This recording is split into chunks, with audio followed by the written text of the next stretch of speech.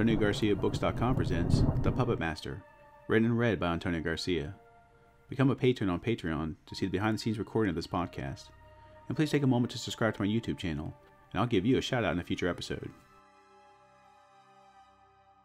I can't believe he would do this, the lady responded to the reporter through tears. He always seemed like a nice person. I've never even seen him get angry before. The woman sobbed as the reporter pretended to be sympathetic. After a few moments, the reporter moved to the next neighbor who was waiting to be interviewed. The crowd seemed to be standing outside the home of the man who had walked into a church and shot the place up, killing seven and injuring three. All the statements were the same. The man seemed normal. He had no criminal record, no noticeable radical views, and didn't seem to even know anyone inside the church. One day he was a normal citizen, and the next, a mass murderer. The story would continue for a few days, but then another tragedy would happen that would draw the reporters away from this story and onto the next.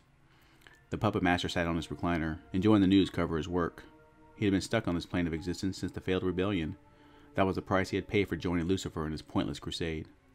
While the other angels could only persuade humans to do their bidding, he was the only one who was able to control the thoughts of one. The only limitation was that he couldn't be discovered. If someone discovered what he was up to, they could keep him out of their mind with a bit of resistance. Fortunately for him, the world was vast, and so far, no one had been able to put two and two together yet though the advancement in technology was making it more difficult for him to go unnoticed. He sat back inside. The high of making that human kill was beginning to wear off. Oh, how he hated humans. Though they had done nothing personally to him, the fact that his father loved him so much filled him with jealousy. He closed his eyes and focused, trying to find another patsy for his next act of violence. Every angel played their part. Those who still followed their father worked to guide humans to peace, while those that lost their rebellion and despised their father's creation worked to lead the humans to destruction. This was a great age for the puppet master and his companions. The world was at its peaks of being divided. Throughout history, men had been united within their own lands, but now the world was divided, even within their own homes. The puppet master enjoyed taking fairly decent men, finding that dark thought buried deep in their psyche that they never let anyone see, and then used that thought of hate, racism, or anger to make them do something horrific. The violence would cause some to unite, but overall, it led to an even bigger chasm between people's views on guns, violence, and everything in between. Humans expected bad people to do bad things, but what really got them riled up was the ones they never suspected of violence, the quiet ones who buried their anger and prejudice deep within themselves. The ones he chose to commit these horrific acts almost always became submissive to the act. They enjoyed being allowed to act on their dirty little thoughts. It wasn't until after the act was done that they had a moment of regret before either being shot to death by law enforcement or being arrested to spend the rest of their lives trying to come to terms with what they had done. He held an orb in his hands. It was filled with smoke and showed faces of different people from around the world. The faces changed like channels of a television until a man's face appeared and stopped. There you are, he said in an ancient, raspy voice. You will be my next puppet. Jeff walked down the street, unaware if someone was watching him. He didn't consider himself a racist, and even had friends of color, but when he saw a group of blacks hanging outside a convenience store, he couldn't help but have a negative thought. That was enough for the puppet master. He added fuel to the fire of racism by forcing him to dwell on the thought longer than he normally would have. In fact, he couldn't shake the shameful thought until after he had gotten home. Hi, Ahmed, Jeff said casually, and was surprised that for an instant he thought the only reason Ahmed had gotten his promotion was because his boss was a Muslim lover. Hey, Jeff, Ahmed replied happily. How was your day going? Good, Jeff said, sickened by his unwarranted thought of his friend. Throughout the day, he couldn't shake the negative feelings he was having against random people, some of whom he considered friends. Hi, Jeff, a girl named Amanda said as she walked past him toward her desk. Jeff bit his lip when he caught himself replying with, Hi ho. Instead, he answered with a friendly, Hi, Amanda. He didn't dare say any more. By the end of the day, he was feeling anger for no reason, he walked around as if he had a chip on his shoulder, but couldn't figure out where it was coming from. At one point, he could have sworn he heard a slight laugh inside his head. That night, he had a restless sleep full of nightmares that he couldn't remember after he woke up. As he brushed his teeth, he felt like someone was out to get him, though he couldn't pinpoint who it could be. Is everything all right? The boss asked a little before lunch. Instead of being grateful for having a boss that cared enough to check on him, he took the question as an attack on his productiveness. Why? Am I not already doing enough? Jeff asked sarcastically. His boss was taken aback. Maybe you should head home early, he said, confused by Jeff's behavior. You look like you need some rest. Unable to control his anger and not wanting to lose his job over an outburst, Jeff only growled and said, Fine. The whole office watched him cautiously as he stormed out.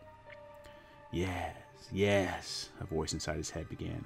They are all out to get you. Jeff took some aspirin and crashed on the couch. All night, like a mantra, the voice inside his head kept talking in that strange voice. They're all against you. All those black people who sit outside convenience stores, living off the government and looking for someone to steal from. All those Arabs who come into your country, take your good jobs, all while plotting to kill as many infidels as they can. And all those whores at work who will sleep with anybody. The bigger the asshole, the better, instead of even giving you the time of day. Jeff rocked back and forth. He had never been so angry in his life. He couldn't understand why these thoughts were in his head now, but the repetition was slowly beginning to wear him down, and those thoughts started to make sense. The next morning, he woke up exhausted. He didn't even have the energy to clean himself up.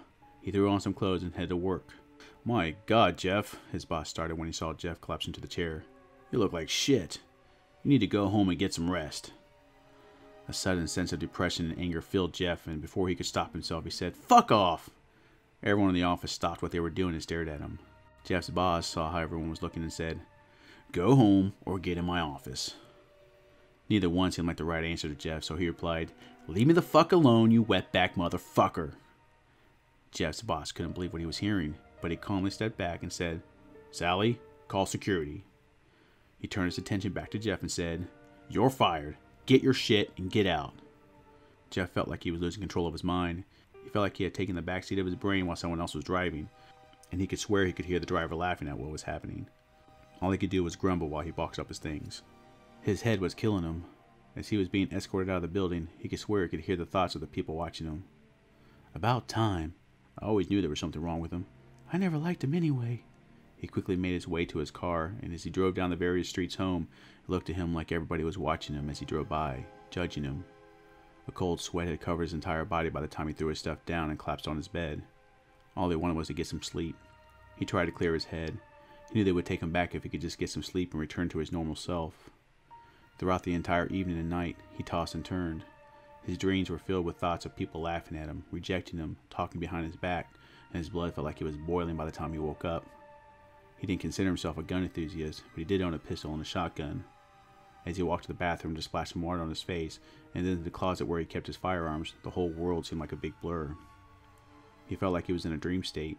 He could see himself opening the closet and grabbing his pistol and shotgun, but it felt like he was watching someone else do it.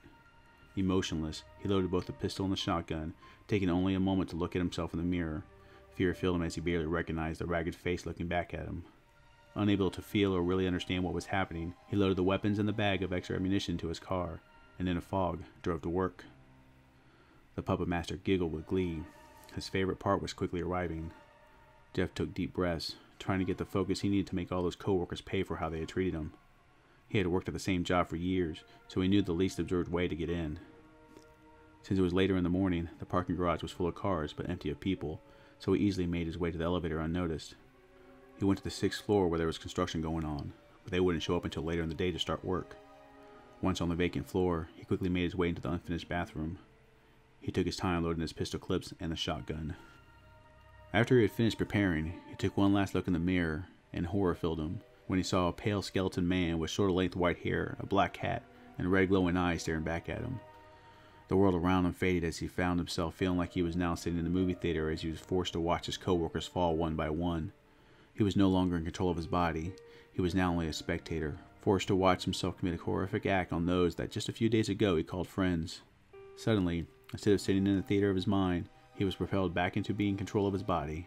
He only felt the extreme remorse of what he had done for a moment before a team of police officers busted through the door, took one look at him, and began firing.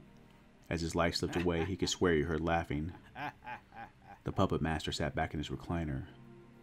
Another job well done, he thought and looked upward with pride at the pain he was sure he had caused his father. He once again held the orb in his hands and began to search for a new pawn, as in the background on the television the nation where Jeff had lived tried to come to terms with what had just happened. Ah, there you are, he said gleefully as he stared at the face of a man in the Middle East. You'll do nicely. I hope you enjoyed this reading of my short story, The Puppet Master. Become a patron on Patreon to see the behind the scenes video of the Short Story Podcast. Please remember to take a moment to subscribe to my YouTube channel. Every new subscriber will get a shout out in an upcoming episode.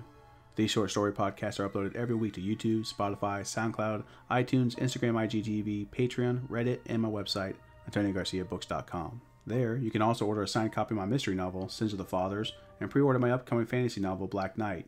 You can show your support by becoming a patron on Patreon. Follow me on Goodreads, Facebook, YouTube, Spotify, SoundCloud, iTunes, Reddit, and Spreaker, all of which are listed on my website. Again, I hope you enjoy the short story and you join me again next week.